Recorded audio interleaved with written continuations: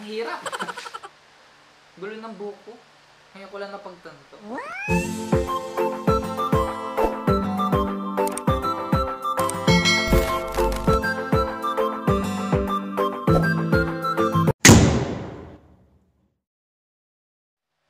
What's up mga kapare ko? This is Chris Capco and welcome back to my YouTube channel. Kung bago ka lang sa akin channel, click mo na yung subscribe button para updated ka sa mga videos na i-upload ko.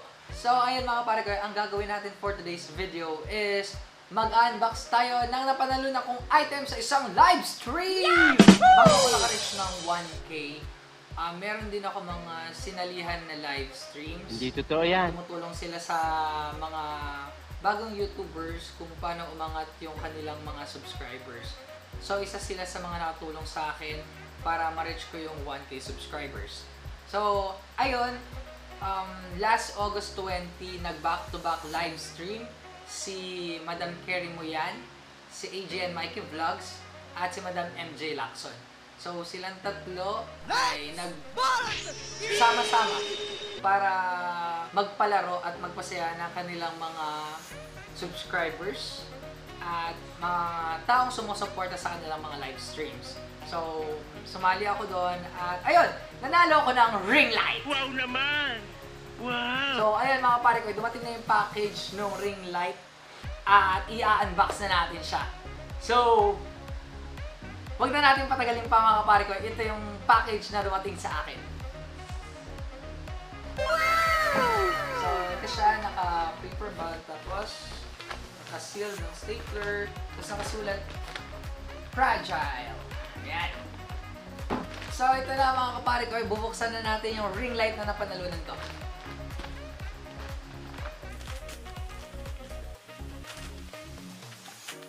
Three, two, one. So, ayan mga kapare ko, naka-bubble wrap pa siya. Kasi nga fragile.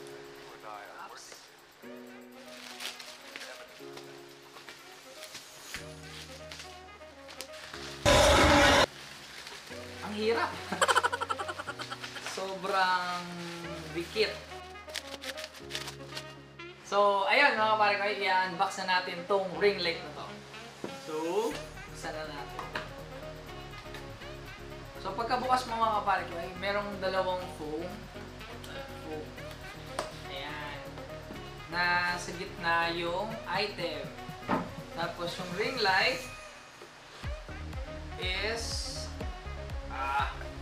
naka-cover siya ng plastic. 26 cm yung laki ng ring light. Kagaya nung gamit ko ngayon. Ayun, nakita niyo rin na meron na siyang free na cellphone holder. Ayan. So, meron ka ng tripod, tapos meron ka ng free na cellphone holder. So, paano nga ba natin gagamitin ito? Saan ang instructions? Ayun! Yung instructions. So, dalawa siya. Merong Chinese. Merong English. So, from my appearance, sabi dito, one is, in the folded state, wrap the control line at the base and then open the bracket. So, ito yung wire. Nasa, nakapalibot sa kanya sa So, tanggalin natin yan. Yan siya. Ito yung wire. Oops. So, USB. USB din yung end niya para makakonect. So, pwede sa mga chargers nyo, i-connect tong ring light.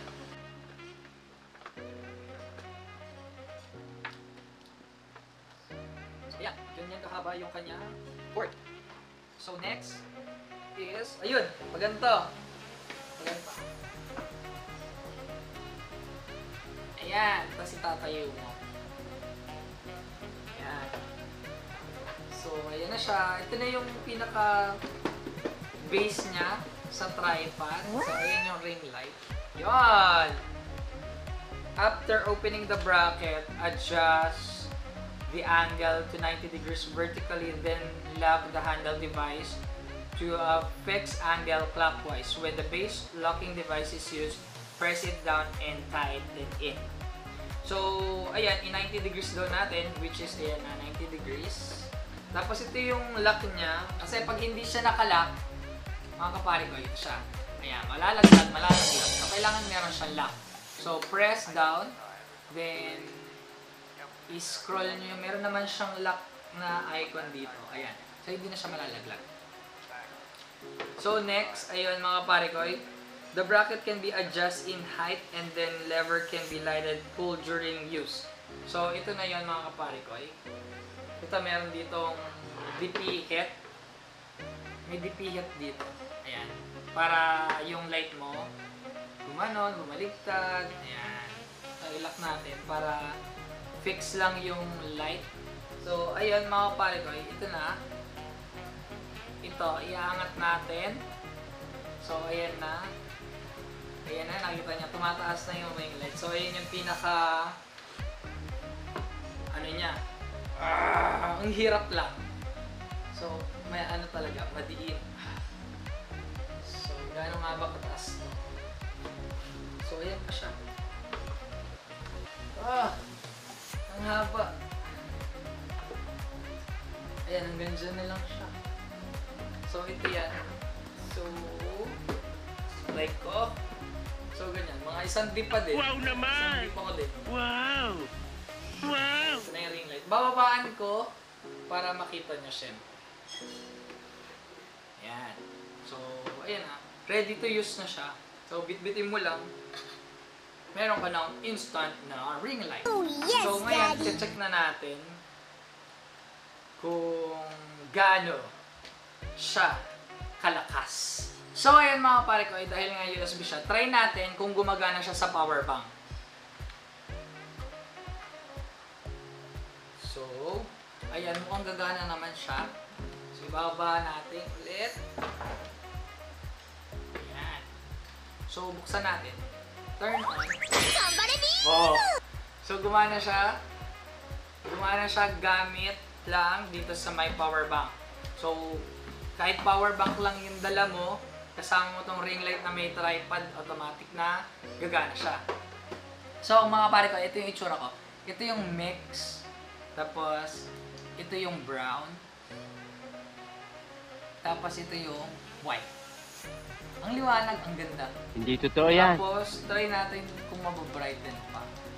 Hindi, yan na yung pinaka-brighten. Ito yung pampa bawas ng ilaw. Ayan. So, tatry kong patayin yung ring light ko ngayon. Tapos, ito yung gagamitin natin. Kung ano yung difference. So, off ko muna siya. So, ito yung ring light na gamit ko ngayon. So, yung mga pare ko, ang gamit ko lang light is light ng aming bahay. Yun, saka ito nasa aming sala. So, try ko nang buksan to mga pare ko. So, ayan. Ganyan siya kaliwanag. Ito yung mix. Ito yung brown. Gulo ng buko. Ngayon ko lang napagtanto. So, ito yung white. Kulit mo, nasan ba yung tubo? Ganyan siya kaliwanag. So, adjustable pa yung liwanag niya. Ayan. So, pwede mo nang ilagay dito yung cellphone mo para kung phone yung gamit mo pang vlog, so, ito na yung gagamitin mo. Diyan. Ayan. So, ayan. So, buksan ko muna yung ring light ko talaga para mas better kasi ata sa akin kasi medyo madilim yung yung house namin, dalawang ring light yung gagamitin ko para mas maliwanag. So, ayan mga pare ko, dalawa na yung ring light na gamit ko. So, yung ring light ko talaga, tapos itong bagong ring light natin. So, try kong i-off. So, ayan yung itsura pag isang ring light lang yung gamit ko. Tapos ito naman yung second na ring light. Ayan, mas maliwanag. So, ayan mga pare ko, ay, ah, masasuggest ko tong ring light na to. Kasi, di ba, oh, meron ka ng tripod na kasama sa ring light mo. Tapos, kahit saan pwede mo siyang madala. So, ibababa mo lang. Ayan.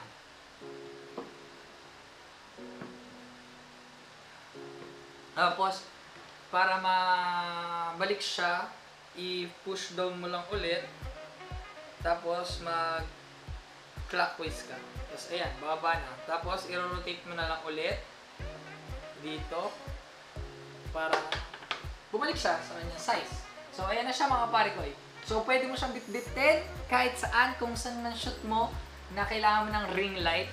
So, ito yung isa sa mga the best kasi meron na siyang tripod na kasama. So, hindi ka na magbibitbit pa ng tripod. So, di ba? Malaking tulong yun. Wala ka ng bit-bit na tripod. Kung phone lang gamit mo, hindi mo na kailangan ng tripod kasi ito, pwede mo na din ilagay dito yung cellphone. So, ayun mga kapare ko, eh. iikot mo lang ulit yan yung cord para bumalik. So, ayun mga kapare ko, eh. tapos na natin unbox tong ring light na napanalunan ko. Hindi ko alam kung magkano tong ring light na to eh. Dahil napanalunan ko lang. So, ayun mga kapare ko, eh. kahit saan pwede mo dalhin, dalhin mo lang yung box. Han, may handle naman yung box niya. So, kaya okay siya. Tapos kung meron naman kayong bag, kasya naman ata siya sa bag. Pag ito lang yung bit mo. Pero para sa akin, mas okay dala mo tong box para mas safe. Hindi totoo yan. So ayan mga pare ko, um, dito na natatapos ang aking unboxing sa aking bagong ring light. So bago natin tapos itong video na to, mag-shoutout muna tayo. Siyempre, shoutout sa tatlong tumulong sa akin mapalaki ang aking subscribers. First, shoutout tayo kay Madam Kerry Muyan. Ayan, isa siya sa mga supportive na nagla-live stream. Check niyo na yung kanyang channel ito. Ang live stream niya is every Saturday to Wednesday, 2 p.m. Pinas time. At syempre kay AJ and Mikey Vlogs, dyan ako nag-start sa kanya. Ayan, nakatulong din siya sobra sa akin. At ang live stream naman niya is 2 p.m. Pinas time, Thursday and Friday. At ang last naman is kay MJ Lacson. Ang LS niya is from 5 p.m. Pinas time onwards hanggang sa matapos yung mga tinutulungan niya. Muli maraming maraming salamat sa tatlong nag-back to back live stream kay Madam Kerimuyan, kay AJ and Mikey Vlogs at kay MJ Lacson sa aking libreng ring light. So ayan mga pare ko, dito ko natatapusin itong video na to. Kung nagustuhan mo itong video na to, huwag mo kalimutan i-like at i-share na. At kung hindi ka pa nakapag-subscribe sa aking channel, click mo na yung subscribe button at kalimutan mo na yung notification bell para update ka sa mga susunod pang videos. Hanggang sa muli natin pagkikita mga pare ko, paalam!